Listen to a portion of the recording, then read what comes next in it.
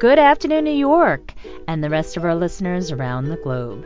My name is June Stoyer, and I'm the host of the Organic View Radio Show. Our podcast is available on iTunes, Zune, and all major podcast providers. So if you can't catch the show live, you can download it or simply use our free podcast player, which is available on our website at www.theorganicview.com.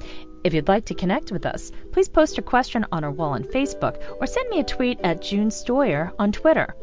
If you'd like to be on the show or would like to find out about sponsorship opportunities, please contact us at questions at theorganicview.com. Today's show is sponsored by Austria's finest naturally authentic pumpkin seeds and pumpkin seed oil from the Steiermark, available at organicuniverse.com. Listeners of The Organic View can receive $1 off their purchase by using the coupon code ORGVIEW. That's O R G V I E W. Also, don't forget to check out our contest section on our website to submit your information for our free monthly giveaways. For more information, please visit our website at www.theorganicview.com forward slash contests. On today's show, Jan Johnsen is going to talk about her new book, Heaven is a Garden. We're going to talk about landscape design, but also many different elements that can help make your garden into your own private piece of heaven. So hmm. I'd like to welcome to the show Jan Johnsen. Good afternoon, Jan, and welcome to the show. Thanks, June. I'm thrilled to be here. Jan, I really love all the different things that you wrote about in this book, especially since I'm a master gardener, and I know that you were inspired by one of my most favorite places on the planet, the Brooklyn Botanic Garden. Oh, yeah. So, can you share with our listeners a little bit about yourself and also some of the places that have inspired you throughout your life?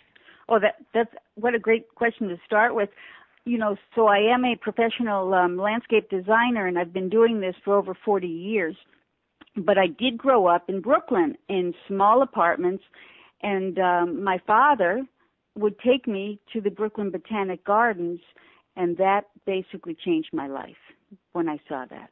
It's Yeah. evident by all of the detail that you put in this book. I see so many books that I skim through and they kind of gloss over different techniques, but you really get into detail, and that's what I really appreciate about your book. I thought it was beautifully written. There's a lot of really great ideas. The components that you focus on are also refreshing, and I don't want to give away the whole book, but you know, I, I hope that we could talk about some of these elements because I think regardless of the size of your property, you can do so much with it, and that's what I really appreciated about Heaven is a Garden. I tried to share ideas. I have a very tiny backyard, and I tried to share ideas and techniques that anyone could use on any size property. Jan, where do you actually begin? How do you figure out what design works best, especially for the space that you're working with? What I do, the first thing I do, and I write about this in the book, I start off with a chapter called The Power of Place because obviously, you know, that's where we all start from, you know, in our in our backyard or wherever we're working. And the first thing I do, whether it's a big property or a little property, is I look for what I call the power spot, and I write about that. Yeah, the power spot is really a key focal point in any garden for people that don't quite understand how the landscape is designed, so on and so forth. Can you offer some advice as far as how you can figure out what your power spot is? Oh yes, yes, yes, yes. Because I do this for a living, so I go to somebody's property and I say, okay, let's go find the power spot. And of course, everybody's very intrigued by that concept, and you know, they think that perhaps it has to be this big overlook, you know, ten feet high or something. And I say, no, no, no. A power spot is any place that just feels a tiny bit different than the other parts of your yard. Like for example, with mine, which is a very tiny yard, it's the uh, far back corner. And when you stand there, you just get a, a beautiful view of the yard and it just feels comfortable. So I say look for a space that's either slightly elevated. It could just be like maybe a foot higher than the rest of the land around it, or, or even more, of course. Or it could be what I call the shaded corner, which is like the heart of the garden. And I say those are places that are a little bit different than any place around it. Jan, you also write about something that you call the four directions. Oh, Can you yeah. explain to our listeners what they are and also how they work with other components of the garden? One of the things that um, I I've been doing for my during my whole career is I've been looking at the ancient traditions and seeing how they worked with the land and with siting buildings or gardens or roadways, whatever, how to work with the land because I, the same things that that our ancestors uh, enjoyed and that, that appealed to them appealed to us, and I I felt that we've lost that in in recent decades. So one of the things that came through when I looked at all the different traditions from all around the world, whether it was Celtic or Hawaiian or Japanese or South American or Native American, was this um, understanding of the four cardinal directions north, south, east, and west. And interestingly enough, they all ascribe the same qualities to each of the four directions. And again, in my book, I talk about this, but I would like to share one with you, if, if I can, one direction and talk about it some. And that is the um, direction of east, because east is considered by all the all the various traditions as the most auspicious direction. Isn't that interesting? Why is that? Well, uh, and I'll give you a few examples and explain why. So, for example, in the Gothic cathedrals, the co- congregation faces east, like say St. Patrick's Cathedral or St. John the Divine Cathedral. I'm, I'm referring to New York ones, but you know, if you go to Europe, the same thing holds true. And um, if you think of the great old libraries of the world, and again, I'll say like the 42nd Street Library, all the windows are facing east. And if you look at Native American teepees, they all had the openings to the teepees face east when they set them up. And even Vastu, which I know you know this, is the um, similar to feng shui from India. Vastu say all gates and doors of a building in a town should face east. And so you say, well, why is this? Well, what's so special about east? And people say, well, that's easy. That's where the sun rises. That's why everybody Mm. likes east. But there's more to it than that.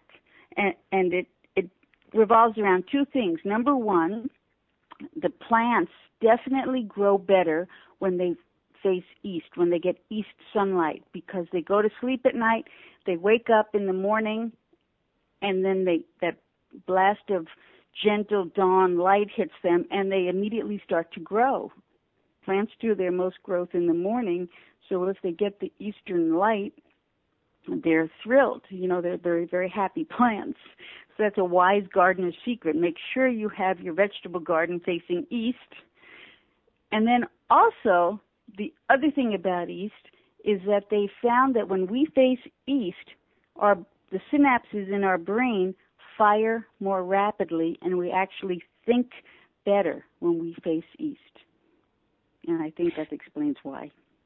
That is fascinating. I've never heard of that before, Right. and I really appreciate that. In horticulture, you always learn something new, regardless of who you're working with, whether you're volunteering or where you're at. And you just taught me so much, and I'm oh, so I'm grateful.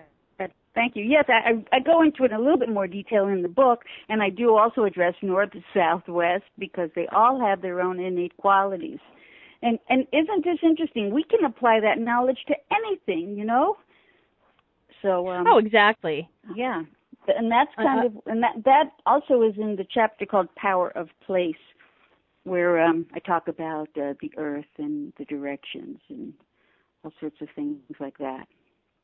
Thank you. Jan, what is pooling and channeling? Oh, isn't that a great term?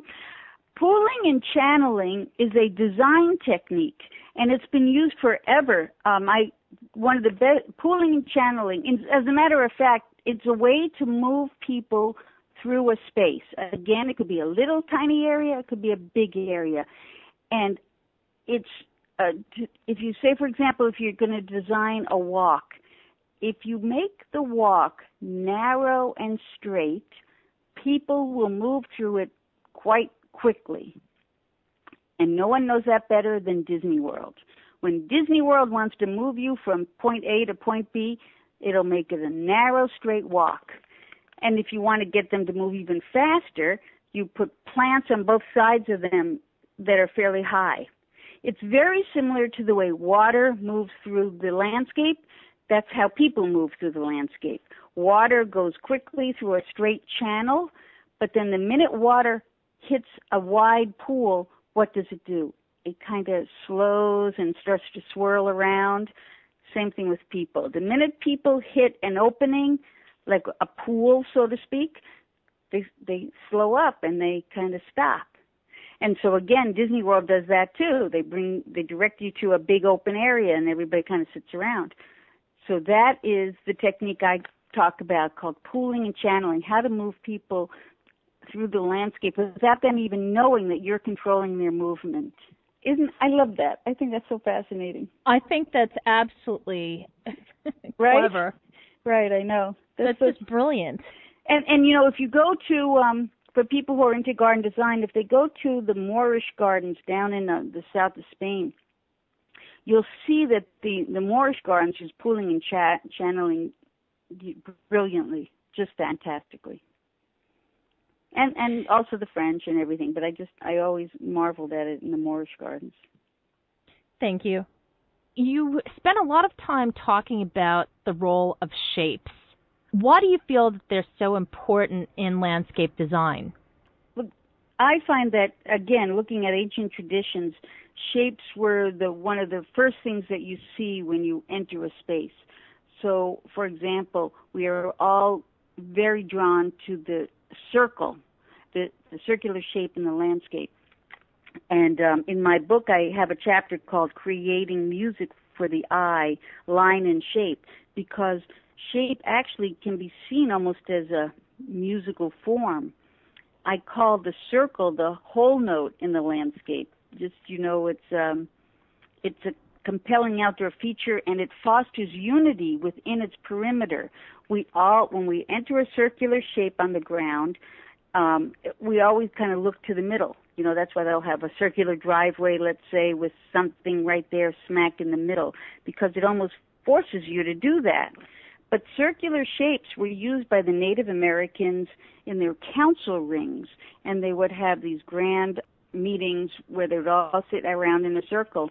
And when Benjamin Franklin went to visit them, I think this is up in the northern, like near Maine or somewhere, he was so um, intrigued by this circular shape that when they came back, he he recommended it for the uh, Capitol building, and that's why the Capitol has a, circular shape, and it does foster unity. So um, that's just one example. Council rings, outdoor shapes, and I in my book I show photos of round patios that I've created that you know are intended to create that sense of community and togetherness. You also mentioned spirals. How can you incorporate a spiral element into your landscape? I, I thought that was fascinating spirals, as you know, June, are, are the shape of growth. That's the natural shape of, that nature takes when it's growing. Whether the trees are growing upright, they spiral around, or, or you know, you see the spiral twining of of vines or the spiraling of the pine cones. I mean, spiral is the shape of growth and evolution. And nowadays people are very intrigued by the, the spiral. It's kind of hard to incorporate it into a usable functional landscape because it's just how do you sit within a spiral. However, as a walkway, you you know the the labyrinth and the spiral path is the way to go, and I think people are very compelled almost to walk along the spiral walkway. So that's the, probably the best way to incorporate a spiral in a garden is, is in a self-contained walkway. Thank you. You also talk about trees. Trees are key for many reasons. They create habitat, they reduce noise, they provide privacy and beauty. What are some of your favorite trees? Oh, you know, this is when I kind of go go a little bit woo woo because I truly do believe that trees speak to us. You know, if you put your hand on a tr- on a tree trunk, like on an oak tree, I swear you can feel the strength and the endurance and the stability that the oak emits. All the cultures of the world say that oak is the uh, tree of uh, courage and endurance. And then if you go over to say a white pine tree and you put your hand on the on the trunk or you just sit within its boughs, you feel a total different atmosphere. And and that makes sense too because the white pine is known as the uh, the peaceful tree.